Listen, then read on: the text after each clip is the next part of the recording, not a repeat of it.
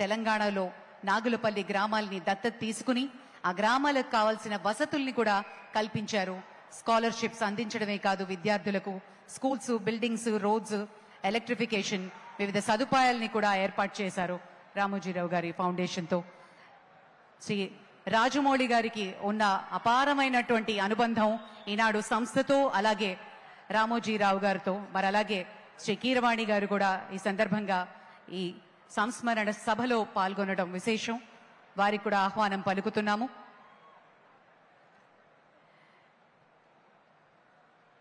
ఇక శ్రీ రామోజీరావు గారి పటానికి floral tribute అందించబోతున్నారు ముఖ్యమంత్రి గారు. క్లుప్తంగా ఒకే ఒక మొక్కలో వారు చెప్పిన దానిలో చాలా సారాంశాన్ని తెలుగులో చెప్తాను. చాలా మందికి అర్థమయ్యే అర్థమయ్యే ఉంటుంది. పత్రికా స్వేచ్ఛ కోసం అవినీతి కుంభకోణాలపై గళమెత్తడానికి పంతొమ్మిది వందల ఎనభైల దశకంలో ఎడిటర్స్ గిల్డ్ ఆఫ్ ఇండియాకి రామోజీరావు గారు అధ్యక్షత వహించినప్పుడు బోఫోర్స్ కుంభకోణం కానివ్వండి మిగతా వాటిపై చాలా బలమైన గళం వినిపించారు అందరూ కలిసి. అదే సమయంలో Um, డెఫమేషన్ కేస్ అంటే పరువు నష్టం దావాలు తీసుకుందాము పత్రికలపై అని పత్రికా స్వేచ్ఛని కాలరాస్తున్నప్పుడు చాలా బలంగా నిలబడి పోరాడారు. అయితే ఆ విజయం సాధించిన తర్వాత నిగర్విగాగా చాలా సంతోషించారు కానీ గర్వంగా ఏ రోజు లేదు అని చెప్పారు. ఇంకా చాలా మాట్లాడారు కానీ ఐ థింక్ ఈ పాయింట్ ఒక్కటి తెలుగువారిగా మనందరం గర్వంగా చెప్పుకోవచ్చు. పత్రికా స్వేచ్ఛ కోసం ఎదురొడ్డి నిలబడ్డటువంటి వ్యాపారాలు ఉన్నా కూడా నిలబడ్డటువంటి గొప్ప వ్యక్తిత్వం శ్రీ రామోజీరావు గారు. శ్రీ మురళీమోహన్ గారిని రావాల్సిందిగా జయభేరి జయభైరి ప్రొడక్షన్స్ పై ఎన్నో చిత్రాల్ని నిర్మించారు.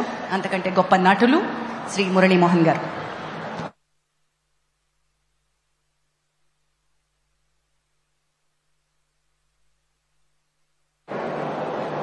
సభకి నమస్కారం.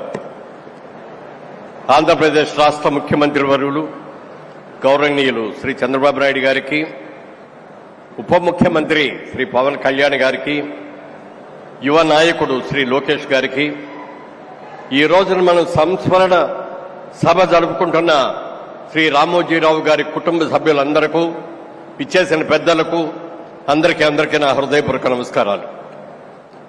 కృషి దీక్ష పట్టుదల ఉంటే మనిషి సాధించలేనిది లేదు అనేది నూటికి నూరుపాళ్ళు రుజువు చేసిన వ్యక్తి శ్రీ రామోజీరావు గారు. ఆయన ఒక వ్యవసాయ కుటుంబంలో పుట్టిన వ్యక్తి అయినా ఉద్యోగ నిమిత్తం కొన్ని రోజులు ఉద్యోగాలు చేసినా తన ఊహలకి తన ఆశయాలకి వ్యాపార రంగంలో దిగాలి పత్రికా రంగంలోకి దిగాలి అని చెప్పి మీడియా రంగంలోకి రావాలి అని చెప్పి ఆయన రావటం ఆర్థిక బిజినెస్లో కూడా రావాలి అని చెప్పి మార్గదర్శి లాంటి ఒక అద్భుతమైన సంస్థ నిర్మించడం ఎన్నో ప్రభుత్వ బ్యాంకులు కూడా దివాళా తీసిన ఈ రోజుల్లో గత యాభై సంవత్సరాలుగా